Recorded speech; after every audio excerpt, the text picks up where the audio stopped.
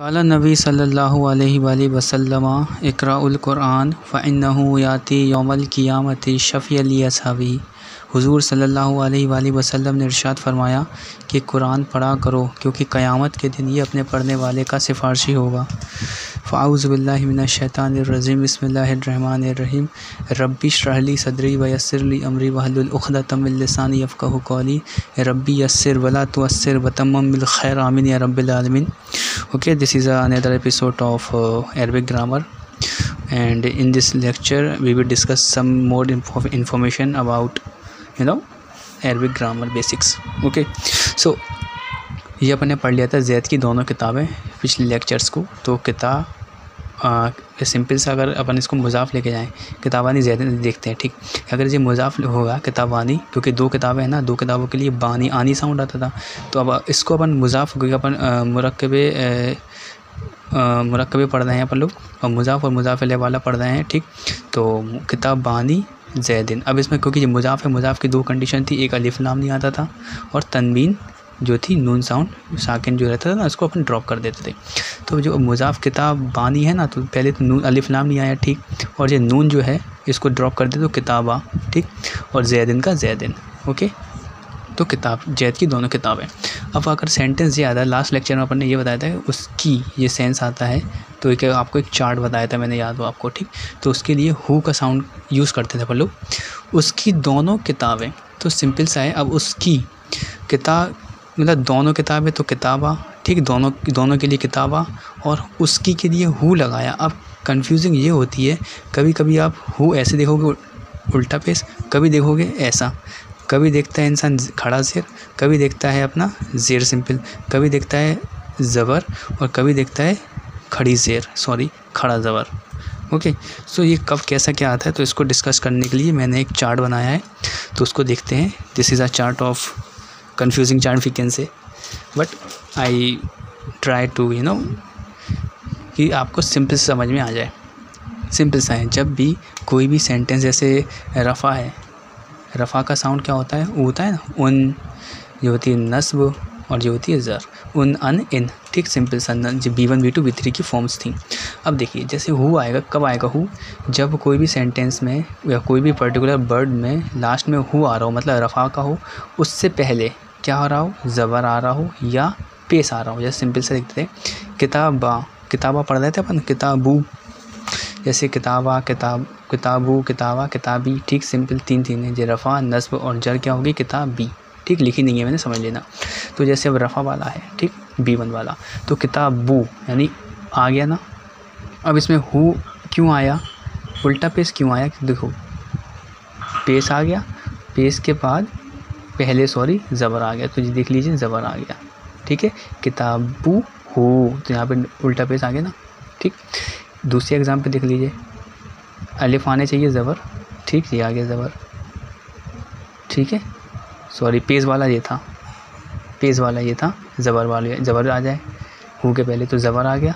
तो ये भी हु हो गया। यहाँ पे अपन हु को ऐसे नहीं करा। अपन ने हु को कैसा कर दिया? उल्टा पेश ऐसा। क्योंकि ज़बर पहले था इसके। ठीक है? अब दूसरा एग्ज़ाम्पल दूसरा रूल क्या है? कि पेश हो, रफा में हो। और पीछे ज़ेर होने चाहिए, ठीक है? उसके पीछे वाले पर्टिकुलर बर्ड पे ज़ेर होना चाहिए। तो किताब बी ये हालत ज़र आगे, ठीक है?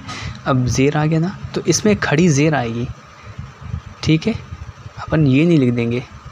अपन लिखेंगे ज़ेर किताब बी उसकी किताब, इसका भी वही है, उसकी किताब उसकी किताब और उसकी किताब, ये बी थ्री फॉर्म है बस, ठीक? सेंस सबके वही हैं लेकिन क्योंकि अपन को वो देखना है ना कि हालतें चेंजेस हो रही हैं ठीक? तीसरा क्या है?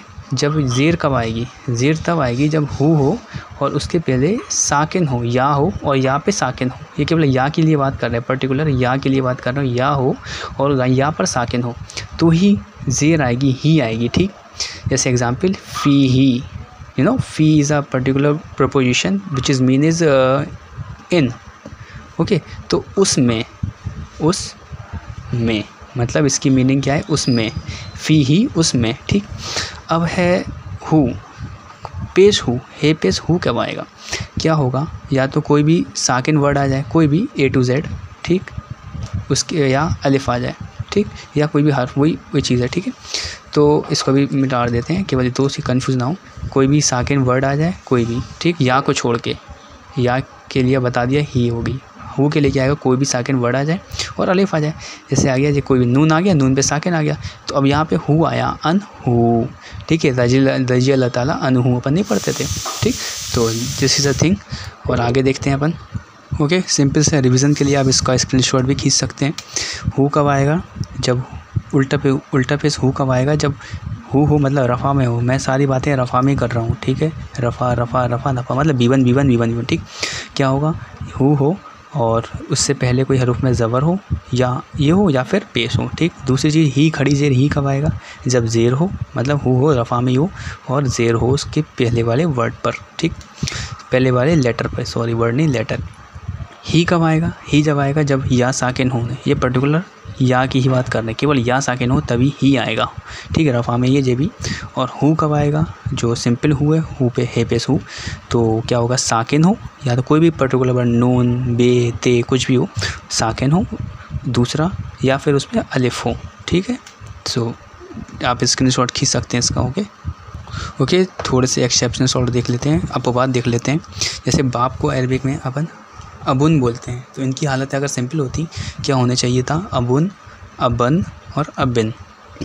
लेकिन जो जब जब मजाफ की तरह आएँगी, यूज़ होंगी तो इसको अपन अबू बोलेंगे। अबू, ठीक है? अबुन नहीं पढ़ेंगे, क्या बोलेंगे?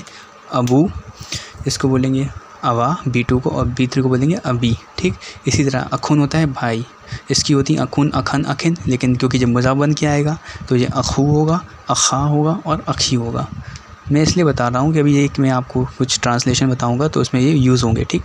ये होगा हमू हमा हमी ओके ससुर को कहते हैं फादर इन लॉ फुम होता है माउथ मुँह ठीक? उसके लिए होता है फू फा फ़ी। नेक्स्ट है जू। जू मतलब आ, बाला। बाला मतलब नहीं आ, करने वाला जो भी मतलब बाला सेंस जब जिसमें आए तो बाला। इसके लिए क्या होगा? जू ठीक? ज़ा और जी। ओके सो अपन कुछ सेंटेंस देख लेते हैं अब। ओके जैसे सेंटेंसेस हैं जैद का भाई। भाई के लिए भी आपको बताया था मैंने भाई के लिए क्या होता है? आ, भाई के लिए होता है अखुन। लेकिन क्योंकि मुजाफ लो के आएगा तो यहाँ पे लिखेंगे और रफ़ा वाला है तो अखू ठीक? तो क्या आएगा? अखू जैदिन अब अपन कहते हैं उसका भाई। अब आपको समझ में आ गया हाँ आना है। उसके लिए कि अपना हाँ पिछला चार्ट देखिए। तो पिछले चार्ट में समझ में आएगा मैंने समझाया था। ओके मैं ही दिखा देता हूँ। जैसे उसके के लिए क्या था हिस के लिए क्या था हु कन्फर्म ठीक। अब देख लेते अपन। हाँ उसका भाई। उसका क्या है? हु मेल है और वो। ठीक। तो हु अब कौन सा वाला आएगा? ये वाला आएगा या ये वाला आएगा? ये कन्फ्यूजिंग होती है। पेस वाला आएगा या उल्टा पेस आएगा? तो उसके लिए आप मैंने आपको एग्जांपल दिया था। हम आई होप आपने स्क्रीनशॉट ले लिया होगा। तो हु अपना देख लेंगे। हु के पहले क्या आना चाहिए? साकिन या कोई अलिफ? मतलब अलिफ या साकिन के साथ कोई हरफ, ठीक? या साकिन नहीं है, हरफ। तो ये हो जाएगा हु। मतलब रफ़ा में होने चाहिए। इससे उसमें कन्फ्यूज़ ना होइए। ये वाले हु और ये वाले ही में कन्फ्यूज़ ना होइए। ये रफ़ा के लिए रिप्रेजेंट कर रहा है, लेकिन ये कर रहा है फाइनल डिसीज़न उसका क्या होगा? क्या होना चाहिए? हु से पहले, रफ़ा से पहले क्या होना चाहिए? साकिन। और या अलिफ होने चाहिए। तो तब ये आता है। तो अब यहाँ पे देख लीजिए। ये पहले चारों कंडीशन चेक कर लीजिए। क्या क्या है इसमें? तो यहाँ पे केवल फोर्थ कंडीशन ही फॉलो हो रही है। कौन सी वाली? कि देखिए, साकिन आ गया ना जी, साकिन। तो यहाँ पे आएगा हु, ठीक है? अखू हु उसका भाई, ठीक? अब जैद का बाप बाप के लिए क्या बताया था? अबुन होता है, लेकिन क्योंकि मुजाफ हो क्या आ रहा है अलिफ्लाम और नहीं है इसमें, और तनवीन भी नहीं है तो क्या पढ़ेंगे इसको? अबू ठीक? जैद दिन अब उसका बाप, यहाँ भी वही चीज़ है जो यहाँ पे थी, ठीक है? तो यहाँ भी सिंपल सा, सिंपल पेश आ जाएगा, ठीक है? अब देखते हैं उसकी बीबी बीबी को क्या बोलते हैं? अरबिक में शहीबा ठीक, सही बात तुन बोलते हैं। सही बात तुन बोलते हैं। अब देखते हैं इसमें कौन सा वाला हुआ आएगा। ये वाला हुआ आएगा या उल्टा पेज वाला हुआ आएगा। अब देखते हैं इसके पीछे, रफ़ा में क्या होना चाहिए? या तो हु से पहले ये देखना है, तू है ना, ये रफ़ा। वहाँ पे अपन हु हुई लिख रहे हैं इतनी देर से। वो इस चीज़ को प्रेजेंट कर रहा है कि पेज के पहले क्या होना चाहिए। हु से पहले क्या होना चाहिए, या तो यहाँ पे क्या है, यहाँ पे ज़बर है। तो कौन सी कौन सी कंडीशन फॉलो हो रही है? ये वाली देखिए फ़र्स्ट वाली। हु से पहले दफ़ा से पहले क्या आ रहा है? ज़बर। तो क्या रिजल्टेंट क्या है इसका? कि उल्टा हु आएगा। तो यहाँ भी आप सिंपल सा हु लगा दीजिए। ठीक है? हु। ठीक? उसके बेटे। उसके बेटे के लिए क्या बताया था हमने? बनू। ठीक है? बेटों को बनू बनू बोलते हैं। अब यहाँ पे जो उसके बेटे से मुराद है उसका बेटा। तो यहाँ पर आपका सिंपल सा क्या है? वही फ़र्स्ट वाली कंडीशन तो सिंपल सा हुआ जाएगा। सो so, ऐसे many types of you know example are there and I hope आपको समझ में आया होगा चलो थोड़ा देखते हैं ओके सो फिनिश करते हैं सुबहान कल्लाम हमदी अशद ला अंत फुल का बतुबी इलैका